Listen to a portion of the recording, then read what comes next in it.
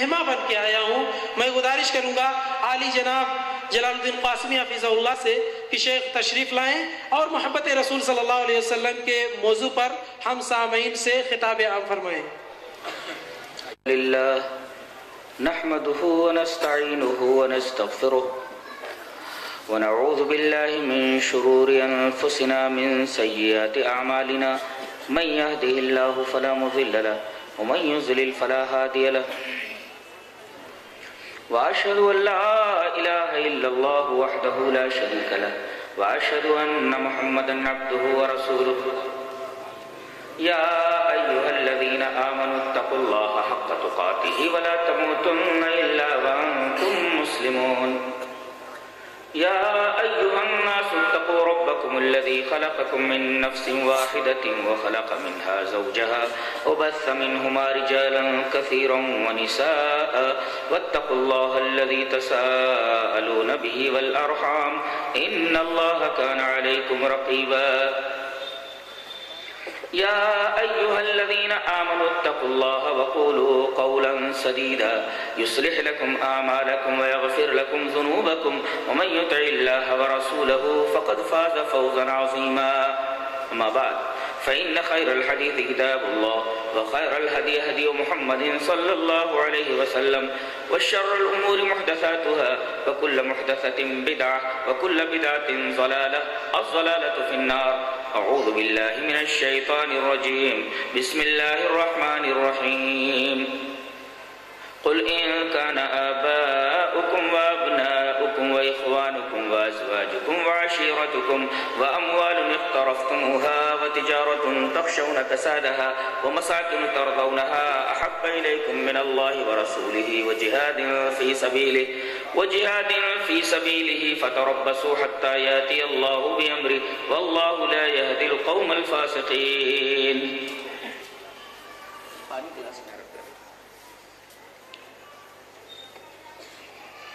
حضرات علماء کرام، محترم بزرگوں، نوجوان بھائیوں، پیارے بچوں، پردانشین اور بہنوں محبت رسول کے عنوان پر آج مجھے گفتگو کرنی ہے۔ آئیے پہلے محبت کا معنی سمجھ لیتے ہیں۔ محبت کہتی کس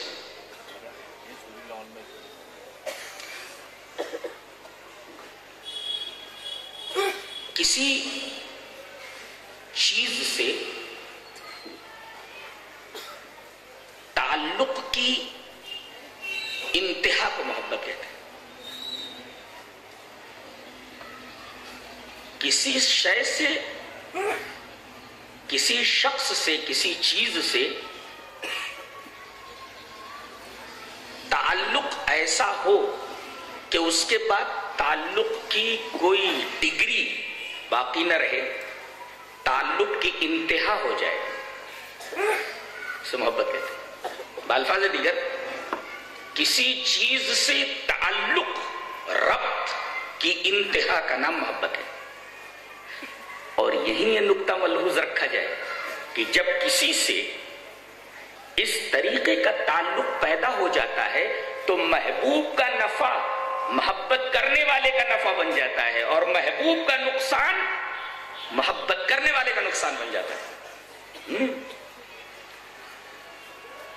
صحابہ کرام رضوان اللہ تعالی علیہ مجمعین کی ایک نمایاں خصوصیت، ایک آؤٹ اسٹینڈنگ ایٹریبیوٹ ایک ابھری ہوئی جو صفت ہے، قرآن حکم نے بیان کی ہے، وہ یہ، حبب الیکم الایمان۔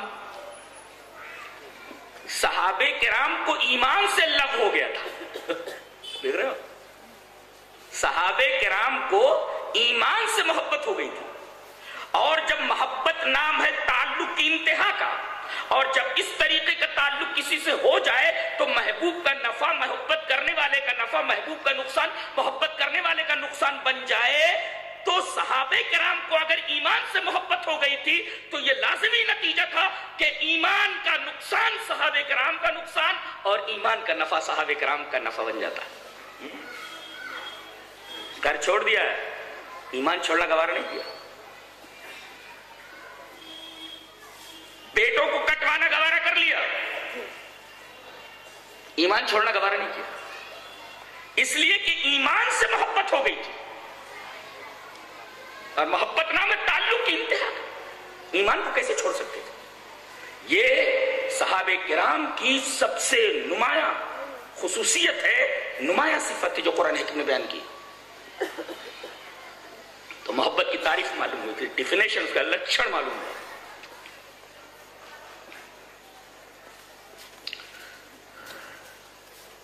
جب صحابہ کی بات نکل ہی آئی ہے، تو یہ بتا دوں کہ اس میں مرد اور عورتیں دونوں برابر تھے۔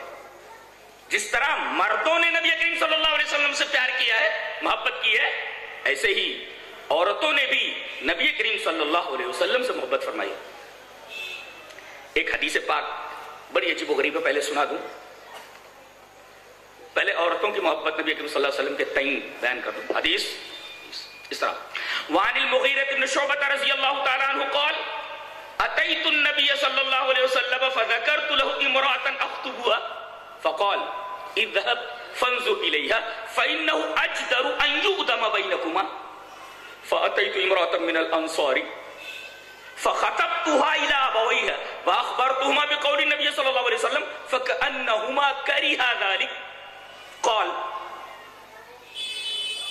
فسمعت ذلك المرأة وهو وهي في خدرها فقالت إن كان رسول الله صلى الله عليه وسلم أمرك أن تنظر أن تنظر فانظر وإلا فأنشدك كأنها أعظمت ذلك. قال، فنظرت إليها فتزوجتها وذكر من موافقتها. رواه ابن ماجه في كتاب النكاح. حضرت امام ابن ماجه اس حدیث پاک کو ایسے ہی کتاب النکاح کے اندر لائیں راوی جیسے کہ معلوم حضرت مغیر ابن شعبہ حضرت مغیر ابن شعبہ فرماتے ہیں کہ مجھے شادی کی خواہش ہوئی۔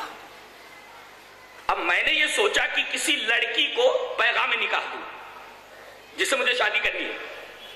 اس سے پہلے انہوں نے لڑکیوں کے بارے میں معلومات کی تو پتہ یہ چلا کہ ایک انصاری کی لڑکی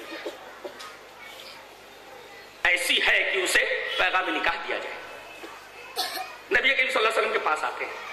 اتیت النبی صلی اللہ علیہ وسلم فذکرت له امرات نختوها میں نے پوچھا کہ اللہ کے رسول، میں نے ذکر کیا کہ اللہ کے رسول، ایک انصاری کی لڑکی کے بارے میں مجھے معلومات حاصل ہوئی ہے۔ لڑکی بڑی اچھی ہے۔ میں اسے خطبہ دینا چاہتا ہوں، میں اسے پیغام نکاح دینا چاہتا ہوں۔ آپ کیا فرماتے ہیں؟ نقطہ یہ ملا کہ زندگی کے ہر مسئلے کے اندر مسلمانوں کو چاہیے کہ مشورہ ضرور کر لیا کرے۔ مشورے میں برکت ہے۔ دوسرے یہ کہ جس سے مشورہ طلب کیا جائے، یہ موبائل وغیرہ بند رکھو، یہاں بات کرنا ہو تو ادھر چلے جاؤ۔ ڈسٹرب نہیں کرنے جس سے مشورہ طلب کیا جائے، وہ منہ ہو، امانت دار ہو۔ یعنی مشورہ جس سے طلب کیا جائے، وہ اچھا مشورہ دے، غلط مشورہ نہ دے۔ اچھا آدمی، مشورہ اچھے آدمی سے طلب کرنا چاہیے۔ تو یہ نبی کریم صلی اللہ علیہ وسلم سے مشورہ طلب کر رہے ہیں، شادی کے بارے میں۔ اس لیے کہ شادی سے اہم معاملہ کیا ہو سکتا ہے؟ اس لیے کہ شادی ہی کی اچھائی یا برائی کے اوپر نسلوں کی اچھائی یا برائی ڈیپینڈ ہوتی ہے۔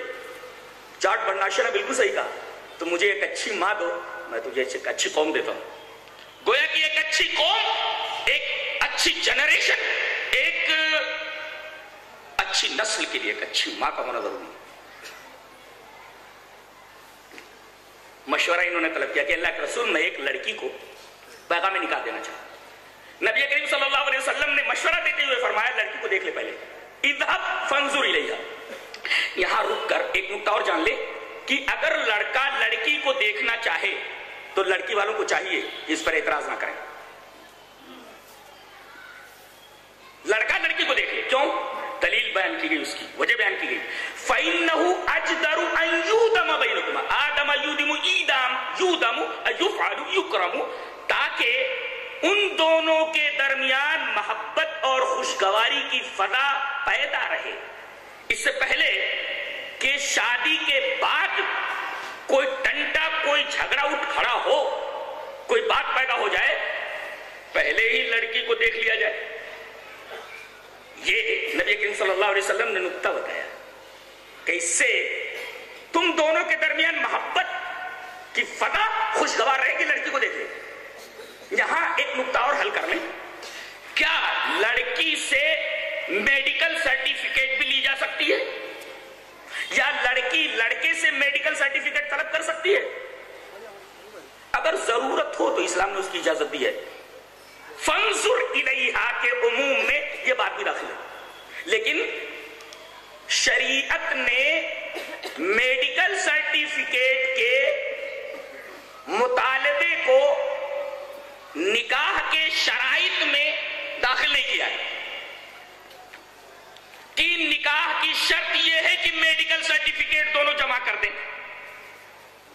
اس لیے کہ دنیا میں کوئی بھی فٹ نہیں ہے اگر کوئی نوجوان یہ دعویٰ کرے کہ میں ہر طریقے سے فٹ ہوں۔ دنیا کے تمام ڈاکٹروں کا اتفاق ہے۔ وہ یہ کہتے ہیں کہ جو نوجوان جو آدمی کہتا ہے میں ہر طریقے سے فٹ ہوں، وہ آئے ہمارے پاس، ہم ثابت کر دیں گے کہ کسی نہ کسی نائیے سے، کسی نہ کسی زاویے سے وہ انفٹ ہے۔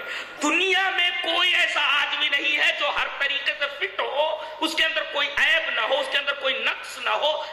صرف ایک ذات ایسی ہے جو تمام نقائص اور تمام عیوب سے مبرہ ہے۔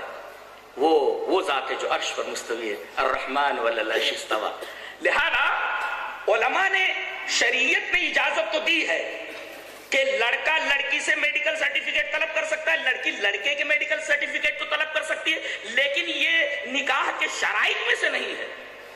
ہاں اگر کسی بیماری کے بارے میں کچھ سنگن ملے تو یہ کام کیا جا سکتا ہے۔ احتیاطاً، احتیاطی تدابیر کے طور پر یا احتیاطی تدبیر کے طور پر میڈیکل سرٹیفکیٹ طلب کی جا سکتی ہے۔ آپ نے فرمایا جا کر اس کو دیکھ لیں۔ کہتے ہیں کہ میں آیا۔ فاتح تو مراتم ملا انصاری۔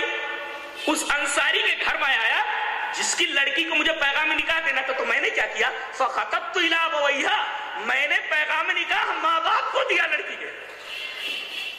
نقطہ یہ معلوم ہوا کہ ہمارے ہاں لڑکیوں اور لڑکے کی تاک جھانک، ایک دوسرے کا پارکوں میں ملنا ہوٹلوں میں ملنا عشق و عاشقی، لب وغیرہ کا معاملہ، ایک دوسرے سے نظر بازی ایک دوسرے سے بے حجابانہ ملنا، اسلام اس کو ناجائز قرار دیتا ہے۔ ابھی رکے رہیے دلیل کے طور پر میں ایک حدیث اور پیش کرتا ہوں۔ حدیث حدیث، اس طرح وان عبد الله بن بريدة عن أبيه قال قال رسول الله صلى الله عليه وسلم لعلي يا علي لا تتبع النظرة النظرة، فإن لك الأولى وليست لك الآخرة. رواه أبو داود في كتاب النکاح. عجیب بات یہ ہے کہ یہ حدیث امام ابی داؤد کتاب النکاح میں لایا پہلی جو ابھی میں نے پڑھی ہے، اسے امام ابن ماجہ کتاب النکاح میں لایا اس روایت کے راوی مغیر ابن شعبہ ہے۔ اور اس روایت کے راوی عبداللہ ابن بریدہ کے باپ وہ یہ کہتے ہیں کہ نبی کریم صلی اللہ علیہ وسلم نے اپنے داماد فاطمہ کے شوہر سے یہ کہا، علی میرے داماد، سنو لا تتبع النظرۃ النظرۃ کسی عورت پر ایک نظر پڑ جائے تو معاف دوسری نظر مت ڈالنا اس لیے کہ فَإِنَّ لَكَ الْأُولَى وَلَيْسَتْ لَكَ الْآخِرَةُ پہلی نظر تو تیری ہے پہلی نظر تو معاف ہے لیکن دوسری نظر معاف نہیں ہے جب معاملہ نظر کے بارے میں اتنا اسٹرکٹ ہو تو اسلام کیسے اجازت دے سکتا ہے کہ ایک لڑکی ایک لڑکے سے بے حجابانہ ملے ہمارے ہاں اس طریقے کا میل ملا عشق و عاشقی کا تصور لویریا کا تعلق قطعا نہیں ہے اسلام اس کو حد درجہ ناپسند کرتا مقروض سمجھتا ہے مقروض سمجھا مقروض تحریم حرام سمجھتا ہے انہوں نے لڑکی کو پیغام نکاح نہیں دیا اس کو آئی لو یو نہیں کہا انہوں نے ماں باپ کو خطبہ دیا ان کی لڑکی کے بارے میں فخطب تو ماں باپ کو پیغام نکاح دیا ان کی لڑکی کے تعلق سے اور انہوں نے ایک بات بھی کہی کہ میں نے نبی سے مشورہ کیا ہے اور نبی نے کہا ہے کہ میں بیوی کو دیکھوں اب آپ دونوں کیا بولتے ہو؟ وہ اخبر تو ماں باپ کو یہ بھی خبر دی۔ بے قولی نبی صلی اللہ علیہ وسلم رسول اللہ صلی اللہ علیہ وسلم کے قول کی خبر دی۔ آپ نے فرمایا تھا، اذهب فانظر الیہ دیکھ لیں۔ اب جب انہوں نے یہ بات سنی ماں باپ نے کہ یہ لڑکی کو دیکھنا چاہتا ہے فَكَأَنَّهُمَا كَرِهَا ذَلِكَ دونوں کے چہرے پر ناگواری کے آثار ظاہر ہوئے اللہ اکبر یہ غیرت ہے اسی غیرت کا فقدان معاشرے کے اندر ہے اور یہی غیرت صحابہ کرام رضوان اللہ تعالی علیہ مجمعین کی سماج کے اندر موجود تھی۔ لڑکا شادی کرنا چاہ رہا لڑکی سے، پیغام نکاح دے رہا ہے اور وہ کہہ بھی رہا ہے کہ میں نے نبی کریم صلی اللہ علیہ وسلم سے مشورہ کیا، میں آپ کی لڑکی سے شادی کرنا چاہتا ہوں دیکھنے سے پہلے۔ نبی کریم صلی اللہ علیہ وسلم نے فرمایا ہے کہ تو دیکھ لے اس کو۔ اس وجہ سے میں کہہ رہا ہوں۔ وہ اخبار تہما نبی صلی اللہ علیہ وسلم۔ لیکن ان دونوں کے چہرے پر ناگواری کے آثار ظاہر ہوئے۔ اس لیے کہ انہوں نے یہ دیکھا کہ ایک اجنبی مرد میری لڑکی کو جو پردہ نشین ہے وہ یفی خدرہا، پردے میں ہے، اس کو یہ دیکھنا چاہ رہا ہے۔ فکان نہما کریہا داری ماں باپ اتنے غیور ہوں تو لڑکی کیسی ہوتی؟ ہاں ماں باپ کا غیور ہونا ضروری۔ ماں باپ کیسے ہوتے ہیں؟ بیٹی شارٹ پہنے ہوئے کھڑی ہے۔ ماں باپ کو حیا نہیں آ رہی۔ تو بیٹی کو کیا حیا ہے ماں باپ حیا دار ہیں۔ فکان نہما اور وہ کوئی جواب نہیں دے رہے کہ میری لڑکی کو اگر دیکھ لے۔ اب فسمعت ذالک المرأت۔ اس لڑکی نے اس بات کو سنا وہی فی خدرہا پردے کے پیچھے وہ یہ باتیں سن رہی تھی۔ ایک نکتہ اور ملا کہ اگر شادی کی بات لڑکی کی چل رہی ہو تو پردے کے پیچھے سے اپنے بارے میں جو فیصلہ وہ جاننا چاہ رہی ہے کہ میرے بارے میں کیا فیصلہ ہو رہا ہے، سن سکتی ہے اور اپنی رائے بھی دے سکتی ہے۔ تو پردے کے پیچھے سے اس نے سنا فسمیت ذالک المرات ویفی خدرہا پردے کے پیچھے تھی وہ۔ اور ساری باتیں سن رہی تھی کہ میری زندگی کے بارے میں ایک فیصلہ کیا جانے والا ہے اور میرے ماں باپ کے پاس میرا پیغام نکاح آیا ہے۔ لیکن میرے ماں باپ مجھے دیکھنے کی اجازت نہیں دے رہے۔ اب لڑکی کیا بولے؟ دیکھو، محبت دیکھو۔ فقالت، پردے کے پیچھے سے اس نے یہ سنا کہ نبی نے یہ کہا ہے مغیرہ ابن شعبہ کو کہ شادی کرنے سے پہلے اس لڑکی کو دیکھ لے۔ لیکن میرے ماں باپ اس کو ناپسند کر رہے ہیں، پردے کے پیچھے سے بول رہی ہے، ان کان رسول اللہ صلی اللہ علیہ وسلم ہمارا کان تنظر، اگر میرے رسول نے تجھے مجھے دیکھنے کے لیے کہا ہے، تو آجا مجھے دیکھ لے، تنظر، دیکھ رہے ہیں ایک غیرت مند لڑکی غیرت مند ماں باپ کی لڑکی رسول اللہ صلی اللہ علیہ وسلم کے قول پر مر مٹ رہی ہے۔ وہاں اس نے حیا چھوڑ دی کہ اگر نبی نے تجھے یہ حکم دیا ہے کہ تو مجھے دیکھ لے تو فنظر تو مجھے دیکھ لے۔ اور اگر نبی نے ایسا نہیں کہا تو فائن شروع کا میں تجھے اللہ کی قسم دیتی ہوں کہ مجھے دیکھنا مت۔ اللہ۔ کانہ آزمت زالی گویا کہ اس نے ایک اجنبی مرد کے سامنے بے حجاب ہونا بہت بڑی بات سمجھی۔ کاش کہ ہماری ماں بہنیں ہماری بیٹیاں اس بے پردگی کو انتہائی عظیم سمجھے اور حجاب کی قدر کریں۔ بہت بڑا سمجھا کہ میں کیسے ایک اجنبی مرد کے سامنے جاؤں، دیکھ رہے ہیں؟ وہاں کیسی حیا، کیسی شرم، کیسی غیرت صحابہ کرام کے سماج میں، ان کی سوسائٹی میں موجود تھی۔ آج اس کے برعکس مسلمان سوسائٹی کے اندر کس قدر بے غیرتی کس قدر بے حیائی کس قدر بے شرمی پھیلی ہوئی ہے جس کو لفظوں میں بیان نہیں کیا جا سکتا۔ نبی کریم صلی اللہ علیہ وسلم نے جو بات کہی تھی، دیکھ لینا۔ لڑکی اس کے سامنے بے حجاب ہونے پر، بے حجاب آنے پر راضی ہوئی حضرت مغرب بن شعبہ فرماتے فنظر تو لیا میں نے اس کو دیکھا۔ لڑکی مجھے پسند آئی، فتزوجت۔ میں نے اسے شادی کر لی۔ اور پھر راوی کہتے ہیں، میاں بیوی کے درمیان بڑی موافقت رہی۔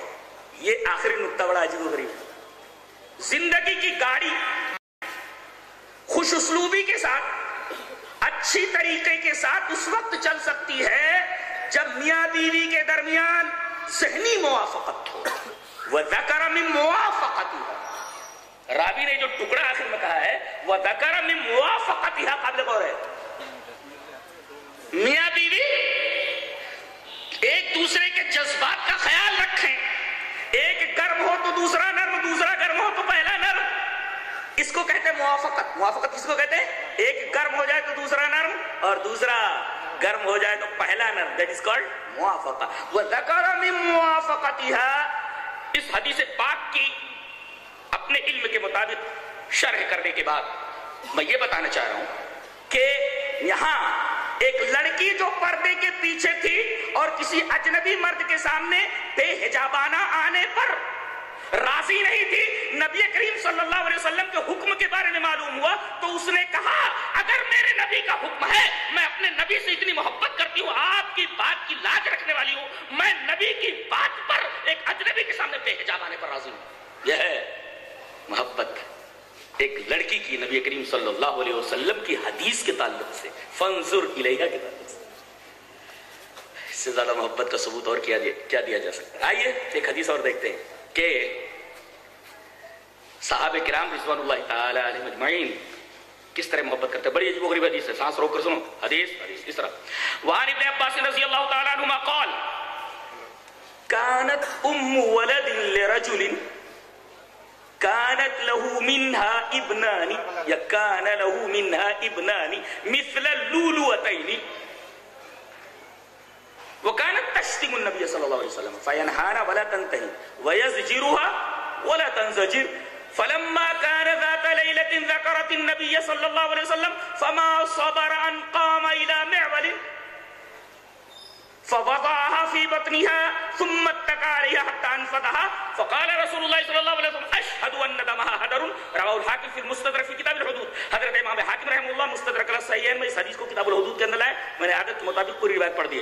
حضرت عبداللہ ابن عباس رضی اللہ تعالی عنہ اس روایت کے راوی. حضرت عبداللہ ابن عباس فرماتے ہیں کہ ایک لونڈی تھی، ام ولد تھی. ام ولد اس لونڈی کو کہتے ہیں جس سے آقا کی اولاد پیدا ہو گئی۔ اس کو ام ولد کہتے ہیں۔ اور یہ صحابی جن کا اس حدیث پاک میں تذکرہ ہے، نابینا ہے۔ اور اس لوڑی سے ان کے دو لڑکے ہیں، مثل لولوتین موتیوں کی طرح۔ یا موتیوں کی طرح راوی نے کیوں کہا؟ جانتے ہیں آپ؟ بچوں کی دیکھ بھال بڑی ضروری ہوتی ہے۔ اور لڑکے اگر خوبصورت ہوں، تو باپ بھی بڑی توجہ دیتا ہے اور ماں بھی بہت توجہ دیتی ہے۔ اگر بچے بہت حسین ہوں تو۔ یہ لڑکے دونوں مثل لولوتین لائک پلس موتیوں کی طرح کے دونوں۔ صحابی اندھے۔ عورت کا حال کیا وہ دیکھیے آپ۔ بچوں کا حال تو معلوم ہوگا، مثل لولوتین بڑے ہی حسین۔ باپ اندھا۔ حضرت عبداللہ ابن ام مکتوم۔ اندھے صحابی ہیں۔ ایک اندھا آدمی، نابینا آدمی بچوں کی کیا تربیت کر سکتا ہے؟ بچوں کی دیکھ بھال کس طرح کر سکتا ماں ہی کرے گی نا۔ اس کی ذمہ داری پڑھی ہوئی ہے کہ وہ بچوں کی دیکھ بھال کرے، اس لیے کہ اس کے پاس آنکھیں ہیں، شوہر کے پاس آنکھیں نہیں ہیں۔ اب اگر ماں نہ رہے تو دیکھیں شوہر کے اوپر کتنی پریشانی آنے والی ہے۔ جس کو دکھائی نہ دیتا ہو لیکن بیوی کیسی ہے معلوم ہے؟ یہ لوڈی کیسی ہے؟ نبی کریم صلی اللہ علیہ وسلم سے بے حد حسد کرنے والی۔ نبی کریم صلی اللہ علیہ وسلم کی بڑی دشمن جب بھی نبی کا ذکر آتا ہے گالیاں شروع کر دیتی وکانت تشتم النبی صلی اللہ علیہ وسلم یہ نبی کریم صلی اللہ علیہ وسلم کو گالیاں پکتی رہتی تھی یہ روکتے تھے فین ہانا اے مت گالی بت ہمارے نبی ہیں وہ بھلائی کی باتیں بتاتے امر بالمعروف کرتے نہیں منکر کرتے تیرا کیا بگاڑا ہے میرے نبی نے گالیاں مت دے لیکن وہ گالی دیتی تھی وکانت تشتم النبی صلی اللہ فین ہانا فین ہا ہا اس کو روکتے تھے ولا تنتہی وہ رکتی نہیں تھی وَيَزْجِرُوهَا کبھی کبھی غصے میں آ کر کے چی بجے بھی ہو کر ڈانٹتے تھے اے چپ رہے نبی کو گالی مت دے۔ لیکن وہ ڈرتی نہیں تھی۔ وَيَزْجِرُوهَا وَلَا تَنْزَجِرُ۔ ڈراتے تھے اس کو، ڈانٹتے تھے، لیکن وہ ماننے والی کہا ایک رات یہ آئے۔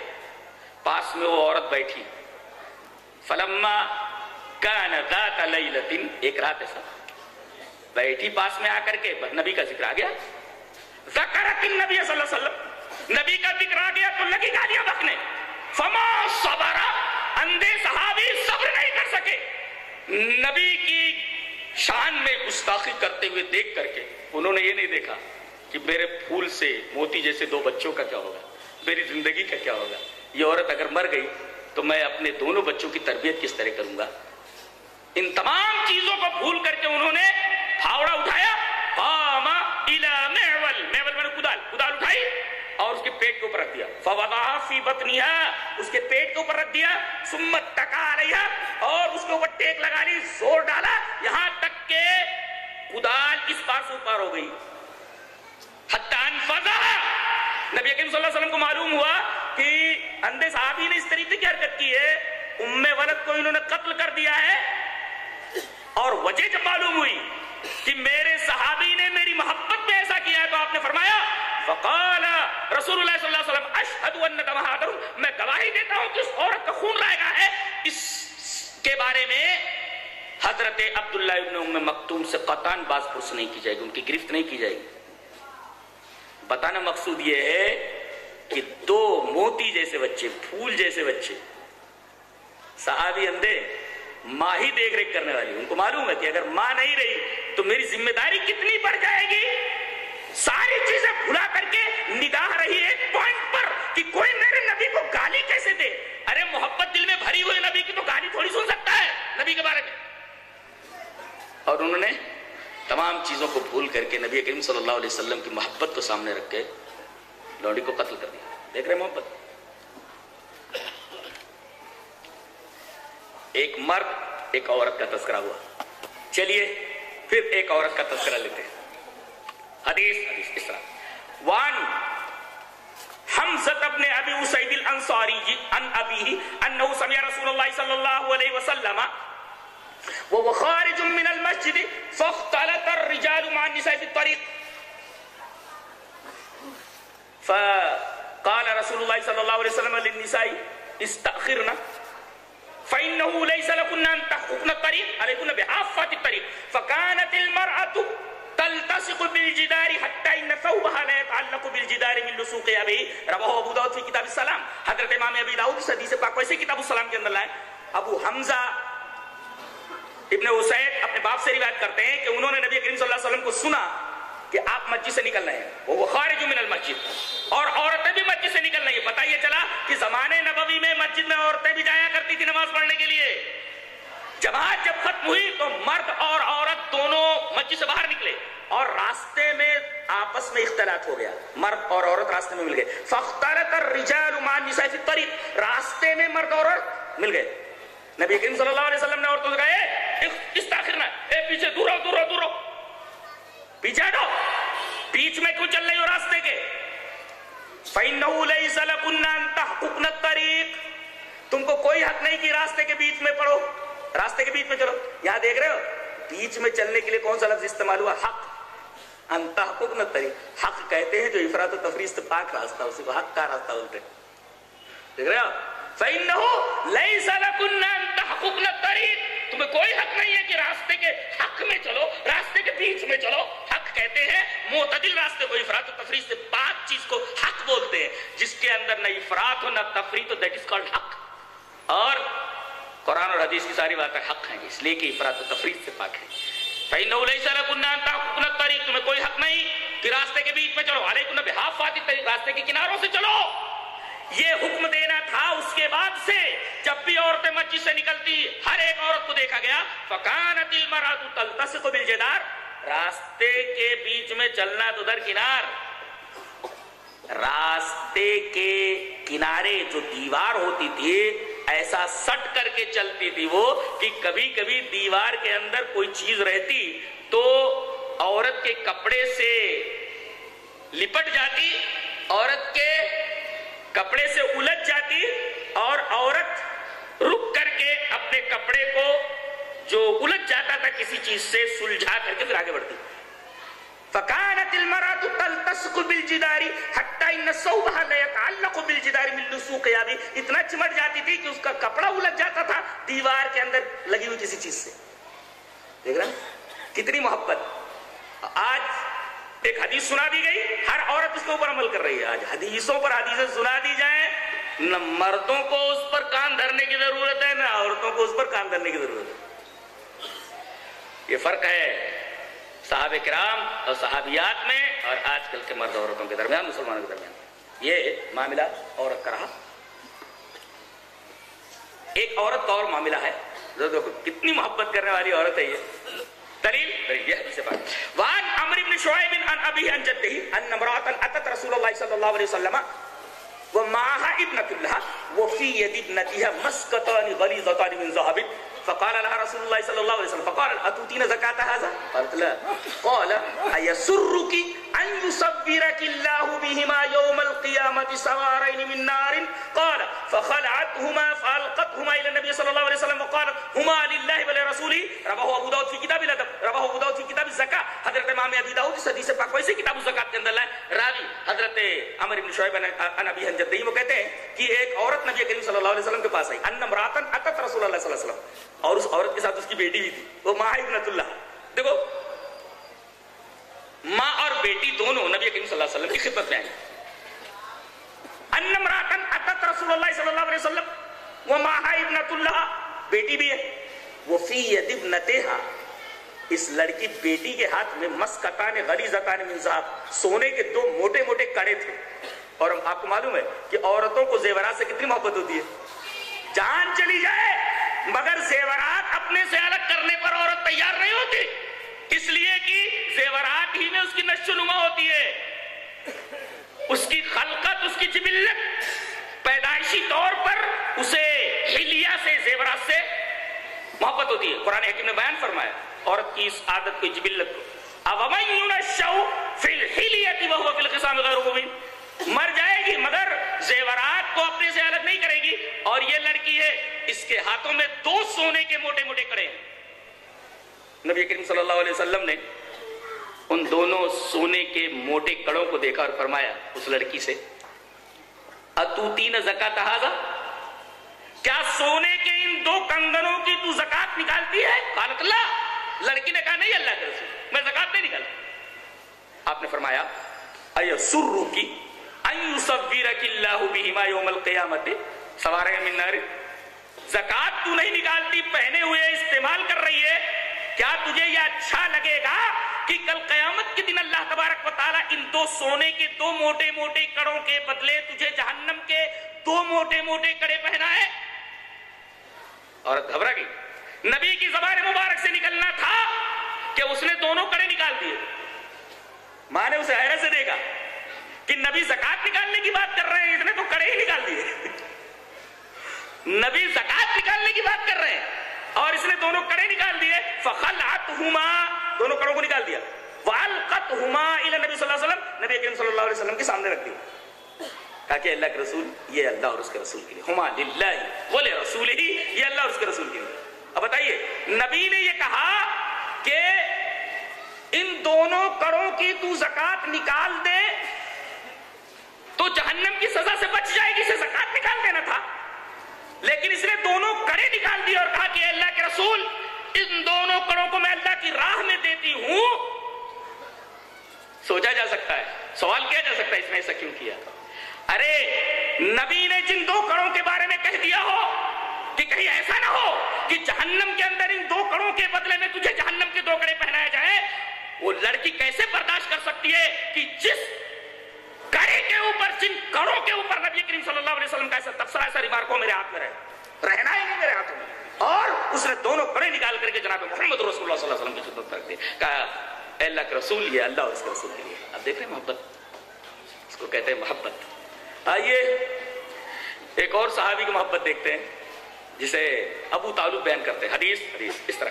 وان ابي طالوت قال، دخلت على انس بن مالك رضي الله تعالى عنه وهو ياكل القرع وهو يقول يا لك شجره ما احبك الي لحبك اياك لحب لحب رسول الله صلى الله عليه وسلم اياك رواہ ترمذی کی کتاب الاطعمہ حضرت امام ترمذی رحمہ اللہ اس حدیث پاک کو اسے کتاب الاطعمہ کے اندر لائے راوی حضرت ابو طالوت ہے حضرت ابو طالوت کہتے ہیں کہ میں نبی کریم صلی اللہ علیہ وسلم کے خادم خاص حضرت انس بن مالک جو مشہور صحابی ہیں نبی کریم صلی اللہ علیہ وسلم کے خادم ہیں ان کی خدمت میں آیا جو نبی کریم صلی اللہ علیہ وسلم کی سنتوں سے بڑی محبت کرتے تھے دیکھا کہ وہ کدو کھا رہے ہیں وہ یاکل القرا وہ کدو کھا رہے ہیں اور کدو کھاتے کھاتے کدو سے بول رہے ہیں کدو سے بول رہے ہیں وہ یاکل القرا وہ یقول ایقول للقرا کدو کھاتے ہوئے کدو سے بول رہے ہیں، یا لک شجرتن۔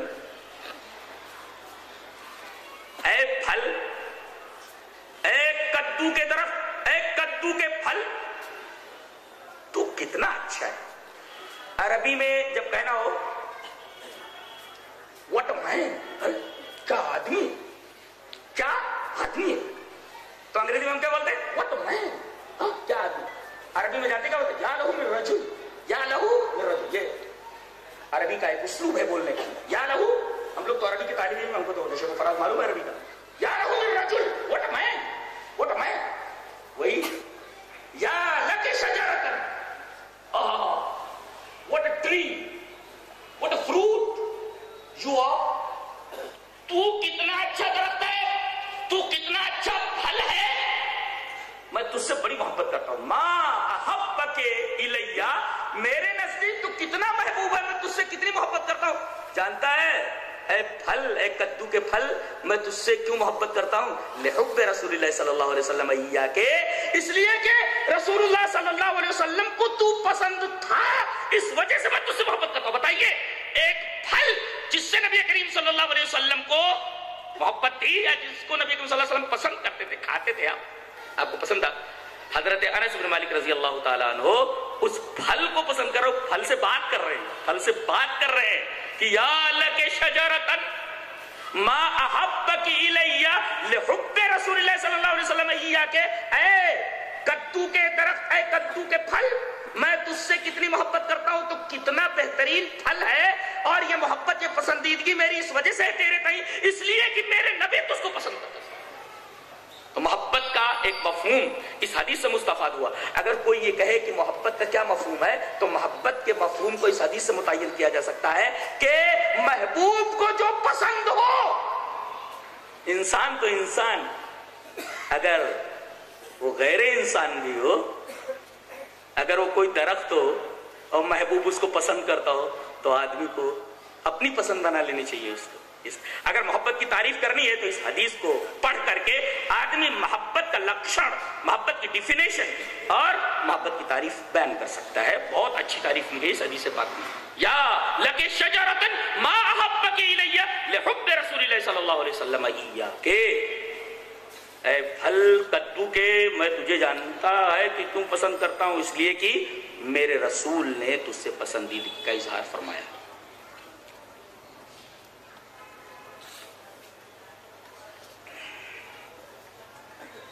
یہ بات چل رہی ہے کہ صحابہ کرام رضوان اللہ تعالی علیہ مجمعین نے نبی کریم صلی اللہ علیہ وسلم سے کتنی محبت فرمائی ہے۔ ایک بڑی عجیب و غریب حدیث۔ شاید آپ نے سنی ہی نہ ہو۔ آج اس جلسے سے لے کر کے جاؤ کہ محبت کا مطلب کیا ہوتا ہے اور محبت کیا چیز ہوتی ہے۔ بہت عجیب و غریب حدیث ہے۔ سن لیا، آپ نے، سمجھ میں آ گئی؟ جلسے کا مزہ دگنا ہو جاتا۔ پہلے وہ حدیث پڑھتا ہوں۔ حدیث امام بخاری کتاب الحدود کے اندر ہے، روایت بخاری شریف کے حدیث حدیث، اس طرح۔ وان عمر ابن الخطاب، حدیث بہت عجیب ہے۔ وان عمر ابن الخطاب رضی اللہ تعالی عنہ، ان رجلا كان على عهد النبي. أن رجلا على عهد النبي صلى الله عليه وسلم كان اسمه عبد الله وكان يلقب حمارا وكان يزهق النبي صلى الله عليه وسلم. وكان النبي صلى الله عليه وسلم قد جلده في الشراب فأتي به يوما فأمر به فجلد. فقال رجل من القوم، اللهم الأنه ما أكثر ما يوتى به؟ فقال النبي صلى الله عليه وسلم، لا تلانوا. فوالله ما علمت أنه يحب الله ورسوله. رواه البخاري في كتاب الحدود. حضرت امام بخاری حدیث پاک ویسے کتاب الحدود کے اندر ہے. راوی نبی کریم صلی اللہ علیہ وسلم کے دوسرے جانشین، دوسرے خلیفہ حضرت عمر بن خطاب ہیں۔ جو اللہ کے معاملے میں بہت سخت، گناہ کے بارے میں انتہائی سخت اور شیطان شیطان جس گلی میں داخل ہو جائے ادھر سے شیطان آ رہا ہو، تو شیطان وہ گلی چھوڑ دیتا، ان سے یہ روایت۔ اور ایک خرابی کے بارے میں یہ روایت۔ حضرت عمر ابن خطاب کہتے ہیں کہ ان رجلا علی عہد نبی صلی اللہ علیہ وسلم۔ رسول اللہ صلی اللہ علیہ وسلم کے زمانے میں ایک آدمی تھا، کانا اسمہ عبداللہ، اس کا نام عبداللہ تھا۔ وہ کانا یلقب حمارا اس کی اپادھی اور اس کا لقب جو تھا، گدھا تھا۔ ڈنکی بولتے تھے، پیار سے۔ میرا خیال ہے کہ یہ گاؤں سے آتے تھے، دیہاتی تھے۔ اور نبی کریم صلی اللہ علیہ وسلم ان سے بڑی محبت کرتے تھے، بہت پیار کرتے تھے ان سے۔ دیہاتی تھے۔ تو آ کر نبی کریم صلی اللہ علیہ وسلم کو جوکس سنایا کرتے۔ وہ بھی بہت ہی اچھے جوکس، برے جوکس نہیں، جو آج کل یہ کامیڈی وغیرہ میں چلتے ہیں، گندے اور بےحودہ اور فضول قسم کے۔ اچھے۔ اس ہو کا، جانتے کس کو بولتے فکاہا اور ابحو کا کہتے ہیں، ایسے لطیفے کو جس کے اندر کوئی گندی بات نہ ہو۔ اور آدمی سن کر کے مسکرا دے یہاں سے تو ان کا نام ہی لوگوں نے گدھا رکھ دیا تھا۔ وکان حمار ان کی اپاتی ان کا لقب حمار رکھ دیا تھا ڈنکی رکھ دیا تھا۔ ایک دفعہ تو یہ کھڑے تھے، پیچھے سے نبی کریم صلی اللہ علیہ وسلم آئے اور ان کی آنکھوں پر ہاتھ رکھ دیا۔ پہلے تو یہ ادھر ادھر ہاتھ پیر مارنے لگے۔ لیکن جب احساس ہوا ایک خاص خوشبو سے، جو نبی کی محفل میں بیٹھ کر کے صحابی محسوس کرتے تھے، لگا کہ یہ جناب محمد رسول اللہ صلی اللہ علیہ وسلم۔ تو جھٹکنے پٹکنے کے بجائے نبی کریم صلی اللہ علیہ وسلم کے ساتھ سٹنے لگے۔ نبی نے سوچا، نبی نے دیکھا کس نے پہچان لیا، آپ نے چھوڑ دیا۔ وہ کہنا یزحق النبی صلی اللہ علیہ وسلم، آ کر نبی کو ہنساتے تھے یہ۔ ہنساتے وہ کہنا یزحق النبی صلی اللہ علیہ وسلم۔ اور نبی کریم صلی اللہ علیہ وسلم ان کے وہ پیارے پیارے جوک سن کر کے ہنسا کرتے تھے، دیہات سے آتے تھے۔ لیکن ان کی ایک بڑی خراب عادت تھی۔ شراب پی لیتے تھے۔ وہ کان نبی صلی اللہ علیہ وسلم قد جلد ہو فی شراب۔ شراب کے بارے میں کئی مرتبہ ان کو کوڑے لگا چکے تھے آپ۔ لیکن یہ مانتے نہیں تھے۔ پی لیتے تھے کبھی کبھی۔ اب ایک دفعہ پی کے ٹن ہو گئے اور آئے۔ فوتی ابھی یومن جھومتے جھامتے آ رہے ہیں۔ صحابہ کرام نے پکڑ لیا۔ اے، دیکھو، آج یہ پی کر کے آ رہا ہے۔ فوتی ابھی ہو۔ چل۔ نبی اکرم صلی اللہ علیہ وسلم کے پاس۔ فوتی ابھی یومن نبی اکرم صلی اللہ علیہ وسلم نے دیکھا۔ فہمارا بھی فجولی تھا نبی اکرم صلی اللہ علیہ وسلم کو مارو اس کو۔ کوڑے لگاؤ۔ فہمارا بھی فجولی تھا ایک خاص نقطہ بتانے جا رہا ہوں۔ آج ہم کو کسی سے محبت ہو محبت ہو، بہت پیارا نقطہ ہے۔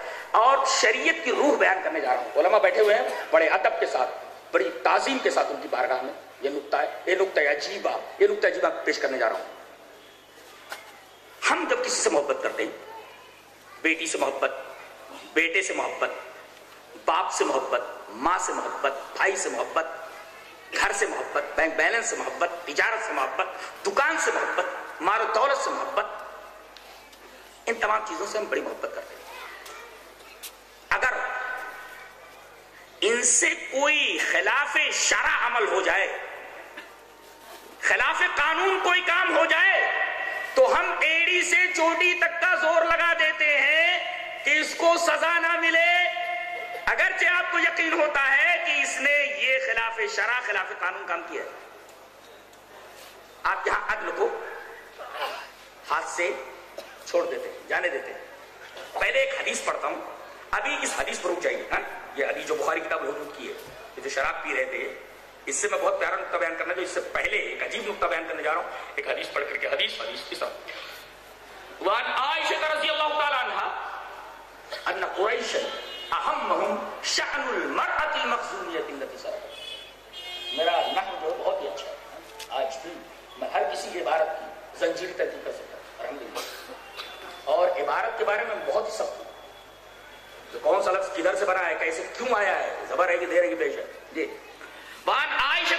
رضی اللہ تعالی عنہ ان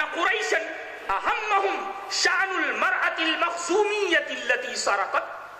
فقالوا ومن يكلم فيها رسول الله صلى الله عليه وسلم فقالوا ومن يستر عليه الا اسامه بن زيد فكلمه اسامه فقال رسول الله صلى الله عليه وسلم اتشفع في حد من حدود الله فقام فاختطب ثم قال انما أهلك الذين قبلكم إذا أنهم كانوا إذا سرق فيهم الشريف تركوه وإذا سرق فيهم الضعيف أقاموا عليه الحد. وأيموا الله لو ان فاطمه بنت محمد سرقت لقطعت يدها رواه الترمذي في كتاب الحدود حضرت امام الترمذی بھی اس حدیث پاک کو کتاب الحدود میں لائے وہ پہلی روایت جو میں نے پڑھی وہ بخاری کتاب الحدود کی ہے۔ اور یہ روایت جو ابھی میں نے پڑھی ہے، وہ حضرت عائشہ سے، وہ عمر ابن خطاب سے امام بخاری اس کو کتاب الحدود میں لائے بخاری شریف میں۔ اور یہ روایت حضرت عائشہ سے اس کو امام ترمذی کتاب الحدود میں لائے دونوں روایتیں کتاب الحدود کی ہیں اور دونوں پوری پڑھی گئی حضرت عائشہ فرماتی ہیں کہ قریش کی ایک شاخ بنو مقصوم جس کے خالد ابن ولید ہے ہمارے نوجوان حضرت خالد ابن ولید پر جتنا ناز کرے کم ہے۔ اللہ، ان کے خاندان کی، یہ عورت۔ ہے چوری اس نے کی اور چوری ثابت ہو گئی۔ اب ظاہر ہے کہ چوری کا جرم اگر ثابت ہو جائے تو اسلام میں اس کی سزا یہ ہے کہ اس کا ہاتھ کاٹ لیا جائے رسل سے، یہاں سے ہاتھ کاٹ لیا جائے۔ لیکن اب معاملہ اس کے ہاتھ کے کٹنے کا ایسا تھا کہ اس کا ہاتھ کٹ جاتا تو قبیلے بنو مخصوم کی ناک کٹ جاتی۔ کہ ہمارے خاندان کی عورت کا ہاتھ کٹا۔ تو اب سب اس عورت کے ہاتھ کو بچانے میں لگ گئے۔ لیکن معاملہ کورٹ میں پہنچ چکا تھا، سپریم کورٹ میں، نبی صلی اللہ علیہ وسلم کی بارگاہ میں۔ اور فیصلہ ہو چکا تھا اس عورت کا ہاتھ کاٹ دیا جائے۔ اب ہاتھ بچایا کیسے جائے؟ سفارش کون کرے؟ ارے سفارش وہ کرے جس سے رسول محبت کرتا ہو۔ کہا کہ کون بات کرے گا نبی؟ قالوا من يكلم فيها رسول اللہ صلی اللہ علیہ وسلم بارے میں بات کون کرے گا؟ قالوا، من يكلم فيها رسول اس بارے میں بات کون کرے گا نبی سے؟ فقالوا، ومن يستمع کے لیے تیاری کیا اللہ؟ روکتے کھڑے کر دینے کے لیے کافی ہے۔ زندگی گزر رہی ہے۔ تیاری کیا آپ کے پاس؟ تیاری کیا ہے؟ آپ کہیں جاتے ہیں، پوری تیاری کے ساتھ جاتے ہیں۔ سفر کرنا ہوا تو بھائی ٹھنڈی ہے، شال لے لینا چاہیے، کٹوپ لے لینا چاہیے، کوئی گرم کپڑا لے لینا چاہیے۔ کیا تیاری کرتے ہیں آپ؟ لیکن عجیب بات ہے، ایک آخری سفر۔ کوئی بیچارہ کسی کھیل میں کامیاب ہے، کوئی بھگوان بول دیتا کوئی ناچنے گانے میں کامیاب ہو بھگوان ہو گیا ہو۔ ہاں، بھگوان کہتے ہیں، ہر ہر آدمی بھگوان ہو جا رہا۔ نہیں، بھگوان کی کوئی اہمیت ہی نہیں رہی۔ ہر آدمی بھگوان ہو جا رہا۔ بھگوان اور نظام میں کوئی فرق ہونا چاہیے نا۔ ہر آدمی بھگوان ہو جا رہا۔ اور کوئی جیت جاتا ہے۔ ایک عجیب بات ہے یہاں جو آدمی ایک دن جیت گیا، بعد میں ہارتا بھی ہے۔ اور جو ہار گیا، وہ جیتتا بھی آپشن لیکن قیامت کا ایک نام یوم تغابن ہے، ہار جیت کا دن۔ لیکن وہاں کوئی آپشن نہیں۔ ایک دفعہ جو ہار گیا ہمیشہ کے لیے ہار گیا جو جیت گیا، ہمیشہ کے لیے جیت گیا۔ تو آخرت کی کامیاب اصل کام ہے احرس اعلیٰ ما ينفع اللہ کیسے کیسے پیغام ہے حدیثوں کے اندر، آیات کے اندر تجزیہ کیا جائے اینالیسس کی جائے اینالیسٹک انداز اختیار کیا جائے، کتنا اچھا لگتا ہے، کتنا مزہ آتا ہے۔ روح سیراب ہو جاتی ہے، ایمان تازہ ہو جاتا ہے، ایمان روشن ہو جاتا ہے، قلب روشن ہو جاتا ہے۔ مسئلہ یہ نہیں کہ قیامت کب آئی مسئلہ یہ ہے کہ قیامت کے لیے تیرے پاس کا تیاری کیا ہے؟ سوال تو بڑے جذبے کے ساتھ کیا تھا۔ نبی کا جب سوال ہوا تو اللہ سے نتنگ کچھ نہیں تیاری ہوتا۔ کہا اللہ سے نتنگ کچھ تیاری نہیں۔ لیکن اللہ کے رسول ایک بات ہے میرے اندر۔ قیامت کے لیے کوئی بڑی تیاری تو میرے پاس نہیں، لیکن ایک چیز ہے میرے پاس، ہے اللہ کے رسول۔ کیا؟ اللہ انی احب اللہ و رسولہ میں اللہ اور اس کے رسول سے بڑی محبت کرتا ہوں۔ قیامت کے لیے کوئی خاص تیاری نہیں ہے میرے پاس، لیکن میں اللہ اور اس کے رسول سے بڑی محبت کرتا ہوں۔ اللہ یہ کہاں کی روایت بخاری کتاب المناقب کی، بخاری کی روایت ہے۔ اللہ انی احب اللہ و رسولہ لیکن اللہ کے رسول، قیامت کے لیے تیاری تو نہیں ہے، لیکن ایک بات ہے میرے اندر، ایک چیز ہے کہ میں اللہ اور اس کے رسول سے بڑی محبت کرتا ہوں۔ اللہ انی احب اللہ و رسولہ نبی نے بھی جواب دیا، فقال انت ما من احببت تو جس سے محبت کرتا ہے، اسی کے ساتھ ہوگا۔ حضرت انس فرماتے ہیں، قال انس، فما فرحنا بشيء فرحنا بقول نبی صلی اللہ علیہ وسلم، انت ما من احببت. حضرت انس فرماتے ہیں کہ ایمان لانے کے بعد ہمیں اتنی خوشی نہیں ہوئی جتنی کہ نبی کی اس بات کے اوپر خوشی ہوئی کہ تو جس سے محبت کرتا اسی کے ساتھ ہوگا۔ نبی کی اس حدیث کے اوپر، نبی کے اس قول کے اوپر ہمیں اتنی خوشی ہوئی، اتنی فرح ہوئی کہ ایمان لانے کے بعد سے اب تک نبی کریم صلی اللہ علیہ وسلم کہ اس بات پر اتنی خوشی ہوئی کہ اور کسی بات پر نہیں اور اس کے بعد کہہ رہے قال انا سنا رس فرماتے ہیں سنو فانا احب النبی صلی اللہ علیہ وسلم میں نبی سے محبت کرتا ہوں وابا بکر ابو بکر سے محبت کرتا ہوں و عمر حضرت عمر رضی اللہ تعالیٰ سے محبت کرتا ہوں وارجو ان اکون معهم اب جس سے محبت کرے گا اس کے ساتھ ہوگا تو میں امید کرتا ہوں کہ انہی کے ساتھ رہوں گا بحبی کیونکہ میں ان سے محبت کرتا ہوں وَإِلَّمْ عَمَلْ بِمِثْلِ عَمَالِ اگرچہ میرے اعمال ان جیسے نہیں ہے نبی جیسے اعمال میرے نہیں ابو بکر جیسے اعمال میرے نہیں عمر جیسے اعمال میرے نہیں، مگر ان سب سے محبت کرتا ہوں اور نبی نے فرمایا جس سے محبت کرتا تو اسی کے ساتھ رہے گا۔ لہذا ان سے محبت کی وجہ سے میں انہی کے ساتھ رہوں گا، اگرچہ میرے اعمال ان جیسے، ان لوگوں جیسے نہیں، ان لوگوں کے سے نہیں۔ وَإِلَّمْ یہ محبت کا شاندار فائدہ ہے، جس سے محبت کرو گے اس کے ساتھ رہو۔ ایک بڑی پیاری حدیث سنانے جا رہا ہوں۔ بہت پیاری حدیث سنانے جا رہا ہوں۔ پڑھتا ہوں حدیث حدیث اس طرح وعن عائشة رضی اللہ تعالی عنہ ان ان نبی صلی اللہ علیہ وسلم بعث رجلا على سریة وكان يقرأ لأصحابه في صلاته فيختم بقل هو الله أحد فلما رجعوا ذكروا ذلك للنبي صلى الله عليه وسلم فقال سألوه لأي شيء يسرع ذلك فسألوه فقال لأنها صفة الرحمن وأنا أحب أن أقرأ بها فقال النبي صلى الله عليه وسلم أخبروه أن الله يحبه رواه البخاري في كتاب التوحيد حضرت امام البخاري سے حدیث پاک واضح کتاب التوحید کے اندر لائے اور راویہ کی پیاری بیوی حضرت عائشہ رضی اللہ تعالیٰ رہا ہے۔ حضرت عائشہ فرماتی ہے کہ نبی کریم صلی اللہ علیہ وسلم نے ایک لشکر بھیجا سریہ جس میں آپ شریک نہیں ہیں۔ کمانڈر ان چیف ایک آدمی کو بنا دیا۔ باسا رجل اللہ سریت ایک لشکر کے اوپر ایک آدمی کو کمانڈر ان چیف بنا دیا۔ اور پہلے کا طریقہ یہ تھا کہ خلیفہ ہی نماز پڑھاتا تھا۔ لشکر کا کمانڈر ان چیف ہی لشکر کو نماز پڑھاتا تھا۔ ہاں۔ اب یہ نماز پڑھاتے تھے۔ لشکر کے جو کمانڈر ان چیف تھے، ان کی عادت یہ تھی کہ ہر نماز میں، ہر رکعت میں قلو اللہ ضرور پڑھتے تھے۔ اسے ایک نقطہ یہ معلوم ہوا کہ دو رکعت کے اندر کیا ایک ہی سورہ پڑھی جا سکتی ہے؟ پہلی رکعت میں الحمد کے بعد الحمد شریف کے بعد قلو اللہ۔ دوسری رکعت کے اندر بھی قلو اللہ۔ چلے گا؟ ہاں، چلے گا، بالکل چلے گا۔ ریپیٹ کیا جا سکتا ہے؟ ایک ہی ایک ہی نماز کے اندر، دو رکعتوں کے اندر ایک ہی سورت چلے گی۔ چلے گی۔ یہ ہر نماز کے اندر ختم کرتے تھے کوئی سورہ بھی پڑھ لیتے تھے تو آخر میں قلو اللہ ضرور پڑھتے فیخت میں بھی قلو اللہ رکعت ختم ہوتی تین کو قلو اللہ کے ساتھ۔ اب لیکن اب کمانڈر ان چیف ہے اعتراض کون کرے؟ فلما رجعو، جب لوٹے تو نبی اکرم صلی اللہ علیہ وسلم کے پاس آئے۔ تکرو ذالک علی نبی صلی اللہ علیہ وسلم۔ نبی اکرم صلی اللہ علیہ وسلم سے ذکر کیا کہ اللہ کے رسول یہ جو کمانڈر بنایا گیا تھا ہمارا، اس کی ایک عادت تھی۔ ہر نماز کے اندر قلو اللہ گزار دیتا تھا۔ دیکھ قلو اللہ پڑھ رہا ہے قلو اللہ پڑھ رہا قلو اللہ پڑھ رہا اللہ کے رسول ہم نے اس سے وہاں سوال نہیں کیا۔ اس سے ایک بات یہ معلوم ہے کہ شریعت کے بارے میں، خاص طور سے نماز کے بارے میں اگر کوئی شک ہو، تو باقاعدہ علماء سے رجوع کیا جائے۔ علماء سے رجوع کیا جائے اور باقاعدہ فتویٰ چاہا جائے اور دلیل چاہی جائے کہ ایسا کیوں کرتے ہو۔ نبی کریم صلی اللہ علیہ وسلم سے آ کر کے انہوں نے پوچھا، تو نبی کریم صلی اللہ علیہ وسلم انہیں سے پوچھ لو جا کر کے۔ سالو ہو رہی یہ شہید سمجھداری ایسا کیوں کرتے؟ اس کا مطلب یہ پڑھنا جائز ہے، لیکن یہ پوچھو کہ ایسا کیوں کرتے ہو؟ دیکھو، جواز۔ اگر ناجائز ہوتا نبی کریم صلی اللہ علیہ وسلم فرماتے، اس کو بول دو جا کر کے، پڑھنے کا نہیں۔ پڑھنے کا نہیں، اس کا مطلب پڑھا جا سکتا ہے، یہ نقطہ معلوم ہوا۔ اس لیے کہ کوئی چیز آئے اور نبی کریم صلی اللہ علیہ وسلم اس کا جواب نہ دے، تو اس کا مطلب یہ کہ وہ چیز جائز ہے۔ یہ آپ کی حدیث تقریری کہا جا کر کے اسے پوچھو، ایسا کیوں کرتے ہو؟ جائز تو ہے، لیکن ایسا کیوں کرتے ہو؟ پوچھو ذرا۔ فسالو۔ کہا کہ حضرت، آپ وہاں کلو اللہ ہر رکعت میں جو ملا دیتے تھے، ہم نے تو آپ سے نہیں پوچھا، لیکن آ کر کے ہم نے نبی سے پوچھا ہے۔ انہوں نے یہ کہا ہے کہ آپ سے پوچھا جائے کہ آپ ایسا کیوں کرتے ہو؟ لیا یہ شہی سرواری ایسا کس وجہ سے کرتے ہو؟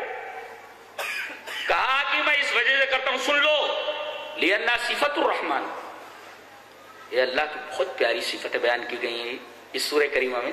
وانا احب وانا اقرابیہ میں اس سورہ کریمہ سے محبت کرتا ہوں، میں اس سورہ سے لو کرتا ہوں۔ کیسے کیسے لوگ تھے، کوئی ایمان سے محبت کر رہا ہے، کوئی سورہ اخلاص سے محبت کر رہا ہے۔ توحید سے نبی کو جب یہ بات معلوم ہوئی وہ کہتے ہیں کہ آئی لو سورہ اخلاص میں سورہ اخلاص سے محبت کرتا ہوں۔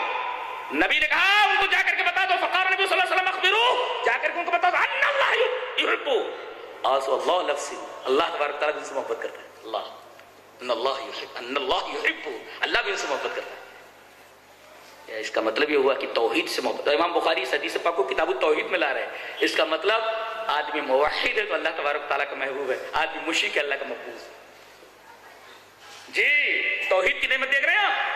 بہت بڑی نعمت ہے جسے توحید مل گئی۔ امام بخاری اس حدیث پاک کو کتاب توحید ملا ہے جبکہ توحید کا بیان نہیں ہے اس میں، وہ سورہ کا بیان ہے، جس میں توحید کا بیان ہے، اس سورہ کے پڑھنے کے بارے میں سوال ہے۔ لیکن امام بخاری اس حدیث کو کتاب توحید میں لا رہا ہے۔ اس کا مطلب یہ ہے کہ توحید سے محبت وہی کرے گا جو توحید کے اوپر چلنے والا ہو۔ اور ایک بات اور بولتا ہوں، یہاں توحید کے اوپر چلنا نہیں، توحید سے محبت کرنے کی بات ہے۔ اور ابھی میں نے بتایا کہ محبت کس کو بولتے ہیں؟ تعلق کی انتہا کو۔ یعنی توحید کا نقصان اپنا نقصان، توحید کا نفع اپنا نفع۔ ایسی توحید اگر آدمی کے دل میں ہے وہ کامیاب ہے، قیامت کے دن اللہ تبارک تعالیٰ اس کی توحید کے اوپر فیصلہ فرما دے گا۔ جاؤ جاؤ جنت کے اندر۔ ان اللہ لا یغفر ان یشرک به ویغفر ما دون ذلك لمن یشاء۔ اللہ تبارک و تعالی شرک کرنے والے کو نہیں بخشے گا۔ بقیہ کوئی بھی گناہ کر کے جاؤ۔ اللہ تبارک و تعالی اگر توحید مضبوط لے کر کے گئے ہو، بخش دے جاؤ۔ بعض لوگوں کے پاس توحید نہیں ہوتی۔ وہ بیچ میں واسطہ چاہ رہے ہیں۔ کسی کا دامن پکڑ لو۔ نہیں بچا سکتا۔ اگر توحید نہیں ایون نبی بھی نہیں بچا سکتے۔ ہاں اگر توحید نہیں ہے ہاں، توحید نہیں ہے تو بچ نہیں سکتے۔ یہ تو طے لیکن اگر توحید ہے آدمی کے پاس، اب گناہ بہت کر لیے ہیں۔ تو پہلے تو پہلے تو نبی کے سفارش کے حوالے کر دیا جائے۔ میرے حبیب، اس کے بارے میں آپ کچھ بولیں، اس کے بعد میں معاف کر دیتا ہوں۔ آپ بولے تو اس کے بعد اللہ کو معاف کرنا ہی ہے۔ اب اللہ اپنے نبی سے کہہ رہا ہے اس کی سفارش کیجیے۔ اللہ کو بخشنا ہے۔ گویا کہ اللہ اجازت نہ دے نبی بھی نہیں بخشوا سکتا۔ تو کل للہ شفاعت جمیعا۔ تمام سفارش اللہ کے لیے ہو گئی۔ تمام سفارش اللہ کے لیے ہو گئی۔ اور نبی کی سفارش کے دائرے میں آگے بخش دیا گیا۔ دلیل دلیل یہ حدیث پاک وہاں نبی حریرہ رضی اللہ تعالیٰ عنہ قال قال رسول اللہ صلی اللہ علیہ وسلم لكل نبي دعوت مستجابہ فتعجل كل نبي دعوت وإن اختبأت دعوت شفاعت الأمة يوم القيامة فهي نائلة إن شاء الله من مات من أمتي لا يشرك بالله شيئا رواه مسلم في كتاب الإيمان حضرت امام مسلم سب سے پاک ویسے کتاب الایمان کے اندر رابع جیسے معلوم حضرت ابو ہریرہ اچھا لگا حدیث پڑھ لے گا ہنس رہے ہیں وہاں محبت ہے حدیث سے بہت اچھی بات ہے حدیث سے محبت بولے تو حدیث سے محبت اب یہ نبی نے فرما دیا کہ جس سے جس کو محبت ہو، اسی کے ساتھ اٹھایا جائے، مجھے حدیث سے محبت ہے۔ میں پوری حدیث پڑھتا ہوں، اس لیے مجھے حدیث سے محبت ہے۔ سن لو آپ لوگ بھی۔ کل قیامت کی تو گواہی دیتے ہیں گناہ کی بخشش ہو جائے گی۔ گواہی دیتے ہیں کہ اس نے کہا تھا کہ میں حدیث سے بڑی محبت کرتا ہوں، اگرچہ محبت نے کہا جی۔ اللہ کے رسول صلی اللہ علیہ وسلم کی حدیث حضرت ابو ہریرہ سے مر گئی ہے۔ حضرت ابو ہریرہ فرما رہے ہیں کہ جناب محمد رسول اللہ صلی اللہ علیہ وسلم نے شجاعت فرمایا کہ دنیا میں بہت سارے انبیاء بھیجے ایک لاکھ چوبیس ہزار وہ مسرت احمد کی روایت اس کے اوپر کلام ہے۔ ایک لاکھ چوبیس ہزار میں متکلم کی ایک لاکھ چوبیس ہزار سے کم بھی ہو سکتے ہیں چوبیس ہزار سے زیادہ بھی ہو سکتے ہیں بہرحال، جتنے انبیاء اکرام دنیا میں آئے، سب سے اللہ نے کہہ دیا کہ تمہاری بہت ساری دعائیں قبول کروں گا، بہت ساری دعائیں ریجیکٹ کروں گا۔ بہت ساری نبیوں کی دعائیں قبول نہیں ہوئی۔ نہیں قبول ہوئی۔ حضرت نوح کا بیٹا سامنے ڈوب رہا ہے۔ نوح کی دعا بیٹی کا قبول نہیں ہوئی۔ سید تھا وہ، نبی کا خاندان کا تھا۔ لیکن اس کا عمل اس کے پاس نہیں تھا۔ وہ خاندان سید سے اس کا نام کاٹ دیا گیا۔ بہت سارے لوگ سید خاندان کے پہلے سید خان خاندان ہمارا نام کاٹ دیا گیا کہ نبی طریقے پر نہیں چلے۔ سید نہیں ہوں؟ جی۔ اس کا نام کاٹ دیا۔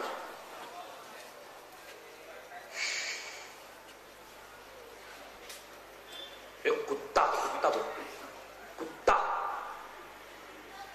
سادی نے بہت اچھا کہا، اسر نور با بدا بنشس، خاندان نبوتش گم شد سگے اصحاب کہف، روزے چند نوح کا بیٹا، بدکاروں کے ساتھ بیٹھا، اس کی نبوت کا خاندان گم ہو گیا اور اصحاب کہف کا کتا۔ ایک بات یہاں بولتا ہوں، اللہ تعالیٰ نے نوجوانوں کو، ابھی ہمارے ناظرین صاحب نوجوانوں کے تعلق سے بول رہے تھے۔ ثناء اللہ نے بھی ابھی یہ بھی بولا کہ جو ہے بہت پیاری تقریر کرتے ہیں، الحمدللہ۔ اور نوجوانوں کے تعلق سے مثالی نوجوان کیا ہے، مثال کیا ہے، سامنے رکھا انہوں نے۔ میں ایک بات بولتا ہوں، اصحاب کہف کے حوالے سے۔ یہ نو تھے تقریباً، سات کے آٹھوں کا کتا تھا، یا آٹھ آٹھ تھے، نو کا کتا بہر ابن عباس فرماتے میں جانتا ہوں ان کی اصلی تعداد کیا تھی۔ بہرحال یہ سات آٹھ تھے، ایک کتا بار بار اس کتے کا تذکرے کتا بھی ساتھ میں تھا۔ کتا بھی چل رہا ہے۔ ایک نقطہ بتاؤں کہ کتا پالنا کیسا حرام ہے، ناجائز ہے۔ جس جس گھر میں کتا ہو، اس گھر میں فرشتے نہیں آتے۔ لیکن دو کتا پال سکتے ہیں آپ۔ کلب الحراسا کلب الحراسا اور کلب السئی ایک تو نگرانی کے لیے کتا رکھ دینا چور بہت آتے ہیں دکان میں۔ رات میں باؤنڈری کے اندر چھوڑ دیا گیا کتا۔ ایسا کتا پالنا جائز جی اور ایک کلب السید ہے، شکار کے لیے کتا لے جانا ٹرینڈ ہو تو کلب السید اور کلب الحراسا جائز ہے۔ بکیا ایسے، وہ کتے لیے گھومتے رہتے نا، سکون کے لیے بیچارے کتے لے لے کر گھومتے صبح سکون کتے سے ملتا سکون۔ چڈی پہن پہن کر کے کتا لے کر کے گھوم رہے بیچارے۔ سکون کہاں ہے؟ کتے لے لے کر کے پارکوں کے اندر گھومنا، کاروں میں بٹھا کر بیچارے۔ غریبوں کو دودھ نصیب نہیں، کتے دودھ پی رہے۔ کتے دودھ پی رہے۔ تو ایسا کتا رہا ہوگا، جس کا پالنا جائز تھا۔ شکاری کتا تھا۔ ابھی ساتھ میں لے کر گئے۔ کتنی مرتبہ کلبوں میں معلوم ہے؟ گن ڈالو تو پانچ چھ مرتبہ کلبوں وہ کلب ہم باسط الزراع بالوسیع۔ ان کا کتا۔ اچھا۔ سیقولون سلاست الرابعهم کلبهم کتا۔ کتنی مرتبہ کتا ہے اچھا یہ بار بار کتا کیوں کہا گیا؟ معلوم ہے؟ اس وجہ سے اس وجہ سے کتا کتا کہا گیا کہ اگرچہ نیکوں کے ساتھ رہا، مگر کتا ہی رہا، ولی نہیں ہو گیا بولے تو۔ اس وجہ سے کتا کتا بار بار کھا گیا اس کو۔ کہ کئی لوگ یہ نہ سمجھ لیں کہ وہ کتوں کا ولی ہو گیا ہے۔ کتا کتا ہی ہوتا، ولی نہیں ہوتا۔ ہاں اسی وجہ سے بار بار کتا کہا گیا۔ كلب سيقولون ثلاثة رابعهم ویقولون خمسط خمسة سادسهم كلب ويقولون سبت وساملهم كلب کلب کلب کلب ڈاک ڈاک ڈاک کہنے کا مطلب یہ یہ کتوں کا ولی نہیں ہو گئے لوگ تو کتوں کا بھی ولی ہو جاتا ہے وہ بیٹھا رہتا ہے تو کتوں کے بعد آتے ہیں ادب سے بیٹھ جاتے ہیں کتے بھی سبحان اللہ سبحان اللہ ما یسفون جی تو دو کتوں کو پالنا جائز کلب الحراس کلب السید اور کیا کتے اگر اس طریقے کے پالے جائیں تو ایک قیرات یا کچھ ایسا تذکرہ کیا گیا حدیث میں کم ہوتا رہتا ہے۔ اس کے ایمان سے، اس کے عمل سے۔ اتنا بڑا گناہ ہے، فرشتے تو آتے نہیں۔ جس گھر میں تصویر اور کتے ہو تو ہم کہاں سے چلے تھے؟ جی ان نوجوان تھے بیچارے۔ یہ اپنا گھر بار توحید کے لیے چھوڑتے چلے گئے۔ انہوں آمنو بے رب تہین وہ جتنا ہوں خدا میں نوجوانوں سے پوچھتا چوبیس گھنٹے میں آپ نے اللہ کے لیے کیا وقت نکالتا ہے؟ آپ نے اللہ کے لیے کیا وقت نکالا بولو۔ اپنے رسول کے لیے، جسے محبت کا دعویٰ کرتے چوبیس گھنٹے میں آپ کا کتنا وقت اللہ اور اس کے رسول کے لیے؟ ہمیں بتاؤ اصحاب غیب کا تذکرہ ایسے نہیں کیا گیا، خاص نوجوانوں کے لیے۔ ان فکر عام اللہ اللہ اللہ وقت نہیں ہے، وقت نہیں ہے، وقت نہیں ہے۔ عام رو ربی میں زندہ ہوں۔ تو ہم کس حدیث سے پلٹے تھے کوئی حدیث تھی؟ ہاں سورہ اخلاص والی حدیث تھی کہ ان سے کہہ دو کہ وہ سورہ اخلاص سے محبت کرتے ہیں، توحید سے محبت کرتے ہیں، تو اللہ بھی ان سے محبت کرتا ہے۔ اور توحید، اگر ہے آدمی کے پاس، تو اللہ تبارک اس کو بخشنے کے لیے تو نبی کی سفارش کے حوالے کر دے گا یا اپنی رحمت اس کے اوپر کر دے گا۔ اس کی رحمت سے بخش دیا جائے گا۔ میں نے شرح حدیث جبرائیل پڑھی، اللہ ابن تیمی اللہ رحمت بخش زہرانی نہیں اس کی پوری کیونکہ ساڑھے چھ سو صفحات پر ہے۔ بڑی پیاری کتاب ہے، بہت عجیب ہو رہی ساڑھے چھ سو صفحات پر عربی میں ہے۔ کیا زہرانی کی زبان بھی کیسی، بہت پیاری زبان ہے۔ اس کے میں نے پڑھا کہ گناہ کتنے اسباب سے معاف ہوتے ہیں؟ تقریر سننے جیسی ہیں۔ تو تقریر سننے جیسی ہیں۔ اس لیے کہ ہم لوگوں سے متعلق گناہ ہم سے ہو جاتے ہیں، لیکن کون کون سے طریقے جس سے گناہ معاف ہوتے ہیں؟ تو ایک اس میں نبی کی سفارش ہوئی۔ ہے تو جتنے بھی انبیاء کرام دنیا میں آئے ہر سے اللہ نے کہہ دیا، تمہاری بہت ساری دعا قبول کروں گا، بہت ساری دعا ریجیکٹ کر دوں گا۔ لیکن ایک دعا کے بارے میں گارنٹی دیتا ہوں کہ ضرور قبول کروں گا۔ نبی نے فرمایا، تمام انبیاء کرام نے وہ دنیا دنیا دنیا ہی میں وہ دعا مانگی اور قبول ہو گئی۔ گارنٹیڈ تھی وہ۔ لیکن میں نے وہ دعا ابھی نہیں مانگی، چھپا کر رکھا ہوا میں نے۔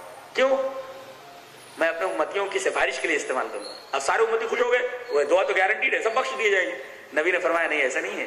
تم ان شاء اللہ مما تمن امتی شرک اللہ شیا جو شرک کر کے نہیں گیا ہو توحید لے کر کے گیا ہوگا، گناہ ہوں گے، تو میری سفارش کے دائرے میں آ کر کے، اس کو گناہ معاف کر دیے جائیں گے۔ تو یہ نبی کریم صلی اللہ علیہ وسلم سے محبت، اللہ تبارک تعالیٰ سے محبت کا معاملہ تھا۔ ایک بکھری ہوئی، میرا خیال ہے مرتب طریقے سے میں نے کی ہے۔ کوئی بکھری ہوئی، تقریر نہیں ہے۔ اسلوب ہے۔ مرتب۔ اللہ تبارک و تعالی ہمیں ان باتوں کو سمجھنے کی توفیق عطا فرما اور اس پر عمل کرنے کی توفیق بخشے۔ وآخر دعوانا الحمدللہ رب العالمين علی فضلت الشیخ جلال الدین قاسمی حفیظ اللہ جو قرآن و حدیث کی روشنی میں ہمیں محبت رسول صلی اللہ علیہ وسلم کے موضوع پر خطاب عام فرما رہے تھے، یقیناً اللہ کے رسول صلی اللہ علیہ وسلم کی محبت یہی ہے کہ حدیث رسول آ جائے تو پھر تمام چیزوں کو وہاں چھوڑ دیا جائے۔ چاہے وہ بڑے ہی ادب و احترام کے ساتھ اپنے اس مجلس کے مہمان خصوصی عالی جناب افضل فاروق صاحب سے بڑے ہی ادب و احترام کے ساتھ گزارش کر رہا ہوں کہ آپ تشریف لائیں اور ہم سامعین کو کلمہ شکر کے ذریعے سے نوازیں۔ جناب افضل فاروق صاحب۔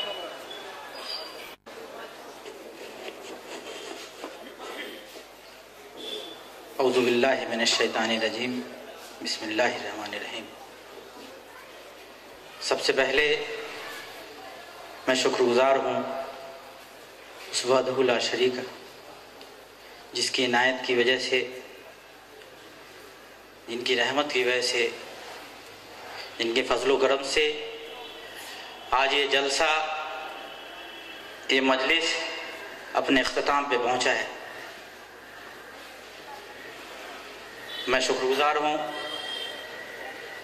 علماء کرام کا، خاص طور سے مولانا ثناء اللہ مدنی صاحب، حفظہ اللہ اور مولانا جلال الدین قاسمی صاحب، حفظہ اللہ کا، جنہوں نے اپنا قیمتی وقت نکالا اور یہاں آئے اللہ تعالیٰ سے دعا کرتا ہوں۔ یہ جو دین کے خادم ہیں، اللہ ان سے برابر کام لیتا رہے۔ اور جو باتیں انہوں نے رکھی ہے، اللہ اس پہ ہم لوگوں کو عمل کرنے کی توفیق عطا فرمائے۔ میں شکر گزار ہوں ان تمام لوگوں کا جو دور دراز سے یہاں آئے۔ اور یہاں کے مقامی لوگوں کا بھی جنہوں نے اپنا قیمتی وقت نکالا اور یہاں حاضر ہوئے، میں تہ دل سے ان کا بھی شکریہ ادا کرتا ہوں۔ میں مدرسہ دارالعلوم کے کے جانب سے وہاں کے استاد اور طالب علم کے جانب سے میں آپ تمام لوگوں کو مبارکباد پیش کرتا ہوں۔ خاص طور سے ناظم اعلیٰ مولانا انعام اللہ فاروقی صاحب، ان کی جانب سے بھی آپ تمام لوگوں کو مبارکباد پیش کرتا ہوں۔ ان کی صحت کے لیے اللہ تعالیٰ سے دعا کریں۔ اللہ ان کی صحت کو تندرستی عطا فرمائیں کہ وہ دین کی خدمت اور بھی اچھی طریقے سے کر سکیں۔ میں تمام لوگوں کو پھر سے مبارکباد دیتے ہوئے ان لوگوں کا بھی شکریہ ادا کرتا ہوں جنہوں نے اس جلسے کو کامیاب بنانے کے لیے پوری پوری کوشش کری۔ بہت کم وقت میں اس جلسے کو کامیاب بنانے کی کوشش کی گئی ہے۔ میں ان لوگوں کا بھی تہ دل سے استقبال کرتا ہوں، ان کو مبارکباد دیتا ہوں۔ اور اللہ تعالیٰ سے یہ بھی دعا کرتا ہوں کہ ایسے جلسے بار بار منعقد کرنے کی طاقت ہم لوگوں کے اندر میں اللہ تعالیٰ عطا فرمائے۔ کہ ایسے جلسے ہم رکھیں اور اپنے روح میں کی پاکیزگی کا خاص طور سے میں آپ تمام لوگوں کا شکریہ ادا کرتے ہوئے صدر جلسے کی اجازت سے آج کا جلسہ یہاں ختم ہوا ایسا میں اعلان کرتا ہوں۔ اللہ تعالیٰ ہم لوگوں کو جو بات علماء کرام نے بتائی ہے اس میں عمل کرنے کی توفیق عطا فرمائے۔ آمین۔ السلام علیکم۔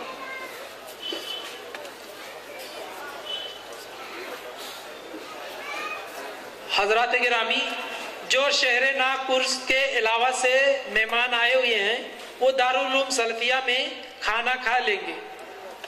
اسی کے ساتھ اس بات کا بھی اعلان کیا جاتا ہے کہ انشاءاللہ ابھی ابھی عشاء کی نماز با جماعت مسجد میں